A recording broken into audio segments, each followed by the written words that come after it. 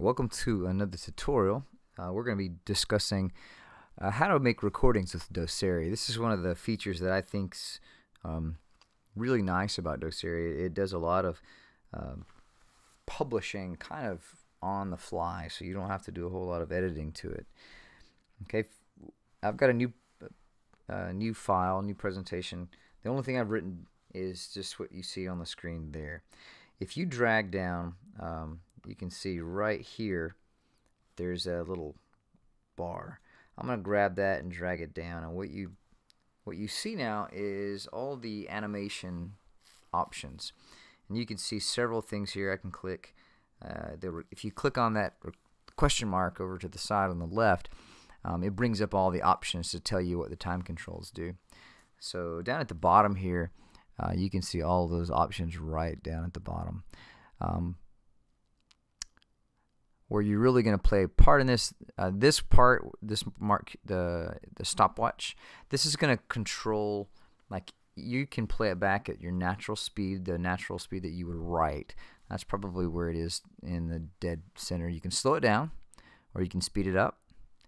You can uh, the buttons in the middle are going to tell it how far or how fast to travel. Uh, these two buttons in the middle. It's just stroke per stroke per stroke. So every time that you make a stroke and pick up your your stylus it's going to just advance each stroke one at a time. That's very slow.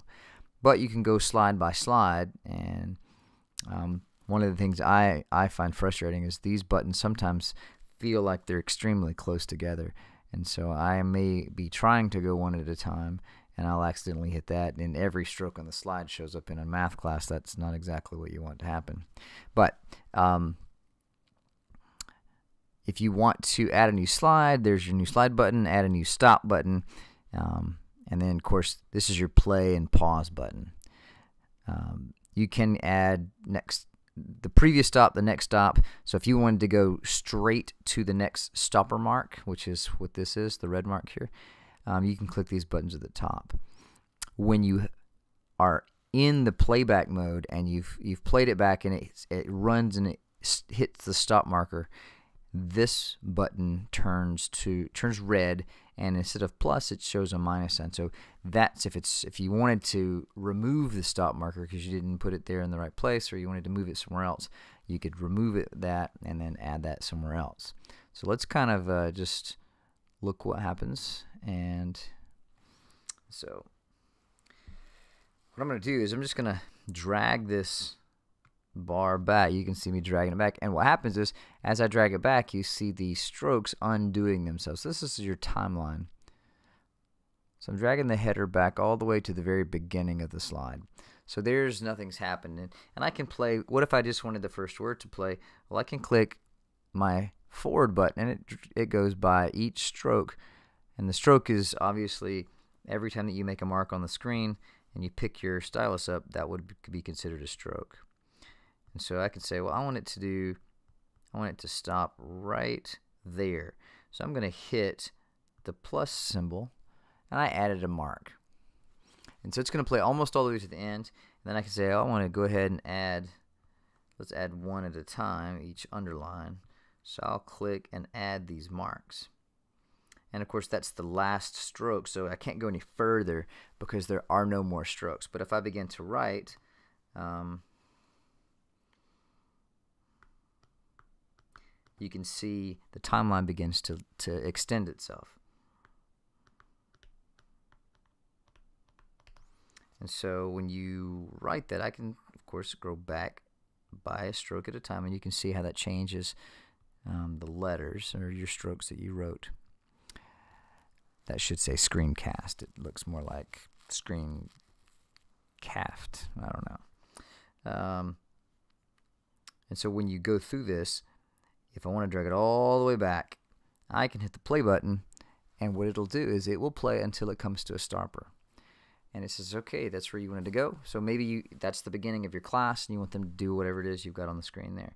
Then you want to take it another step. You click play. And you click play again and again.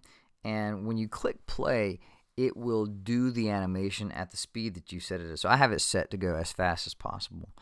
And so you can see there it's writing a little faster than my natural handwriting. So I can drag it back.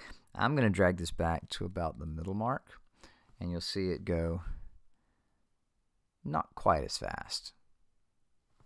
You can drag it even further back and you'll see it be a lot slower.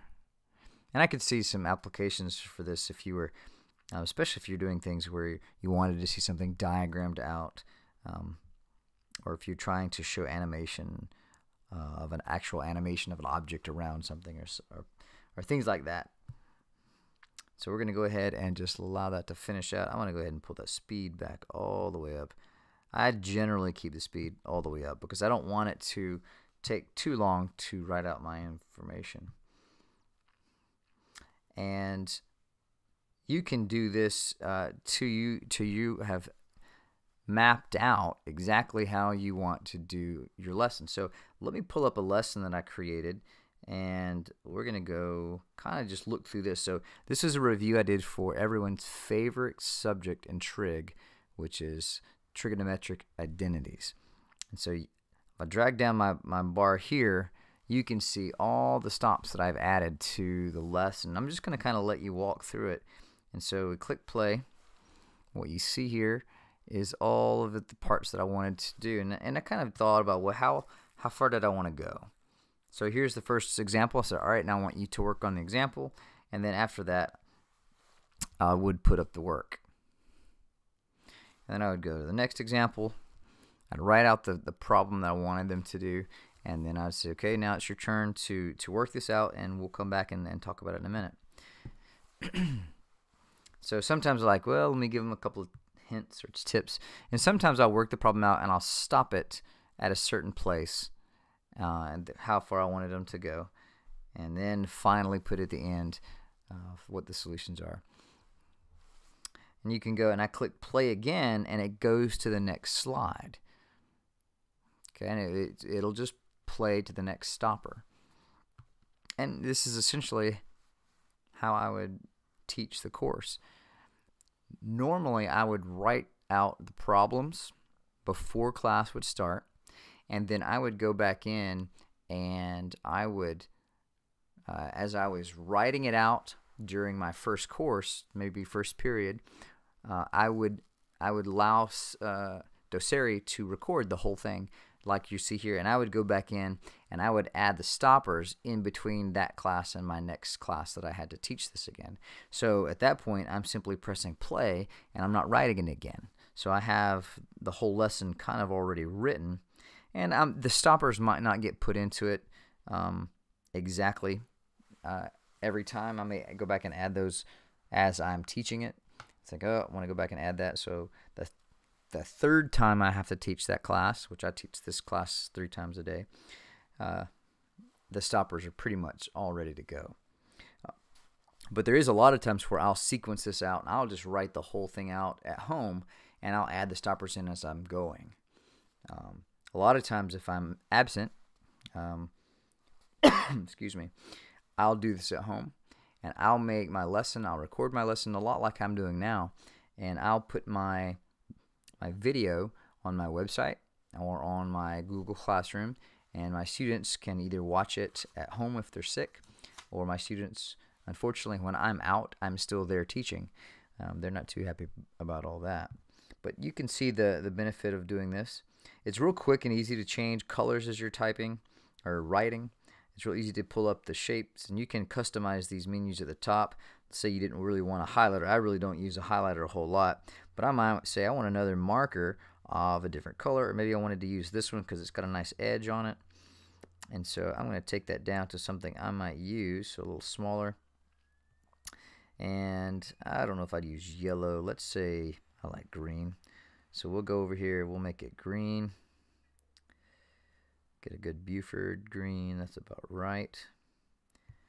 And so then you could have your markers. And if you notice, if you come in and you start adding text or adding mm, uh, writing, then even if you've got something here and I keep playing and I want to play it, if I had had text there, then it would have shown up and it would have written underneath my text. So be careful if you've already written it out don't write over something in the middle of it, and you can go there. Sometimes when you're writing out something and you mess up, uh, if you drag the scrubber back and forth along the top there, you'll see that it plays back and forth just like you, you want to. But if you mess up, okay, if you erase it, then it, it it's still considering that as an action, and that's going to be just put into your timeline. So it'll write, then it'll erase, and then it'll write again. If you want to remove that from your timeline, you have to hit the undo button. And so we go back here. If I go to that stage here and I take my eraser and I erase through these things and I back it up and let it play, then plays it and then it erases it. When I could go, and I'm going to go back to that stroke, I'm going to use the, the back button. I'm going to go back until I've gotten to the point where I drew those. There they are. So I'm going to, instead of erasing them, I'm going to hit the undo button and undo all those pieces from my timeline. Now they're gone. They're erased. So when I go back and play, it goes directly to the next stroke and continues on. So that's an important feature. You don't want to have your animation show and then stop and then erase it. You want it to just simply not be there because uh, you messed up or you decided to redo it in a different way. And so that's definitely helpful to know. going through this, uh, this is really nice if you're going to make a tutorial video like this. Um, especially when I'm going to be absent, I'll I'll go ahead and write it all out, and then I'll add in all the stops, how I want to teach it, and if I'm going to stop and say something. That way, I don't have to worry about writing as I'm as I'm going through the lesson. I can kind of focus on my explanations and things like that. So at that point, you can simply record it and go. And, and, and this goes on. This is a fairly long long. This has got 10 slides to it, um, but you can you get the point to it. Okay. If I get to a point here, you can see that the stopper button uh, right here, this one is actually uh, red. If I wanted to remove that, I could click that stopper, and now it won't stop. If I can, if I click play, it will keep going past that mark all the way to the end. So I can drag that back a little bit, and so it'll play and go right on past the part I had before and stop at the next mark. And you can customize this to do whatever you want it to do.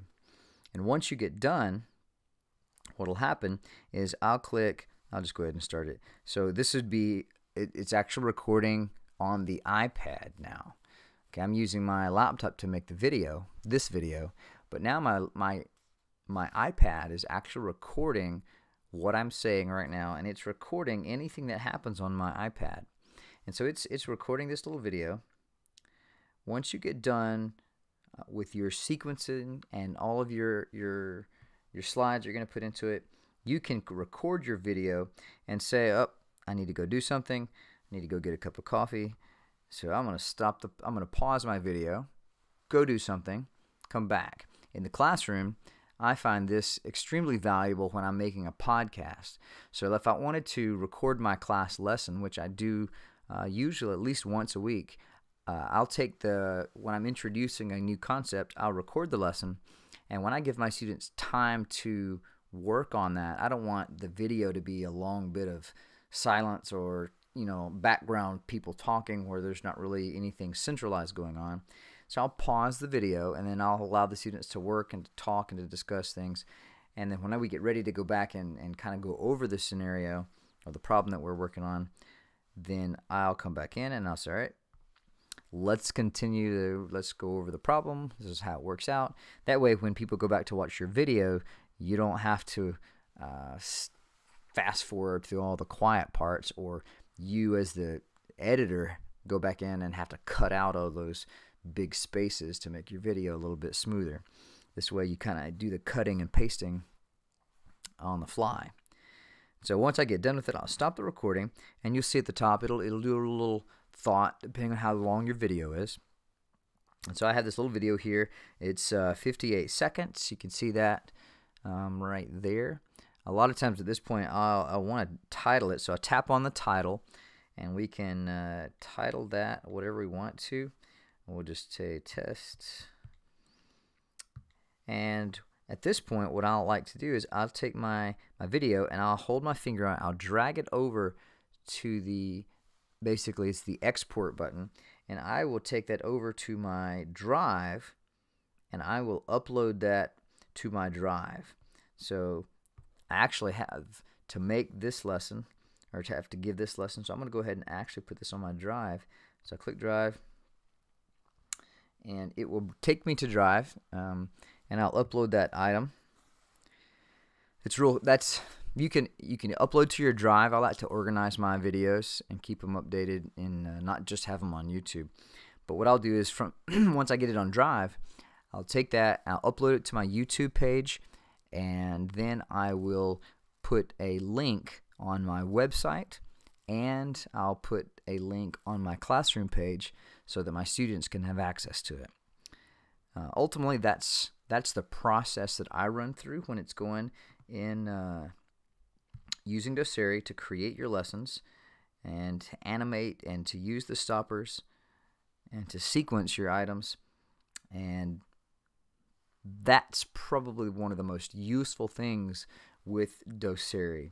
If you have any questions, please feel free to email me, uh, put comments or, if, with concerns, whatever you want to say, or if you have any questions about this video.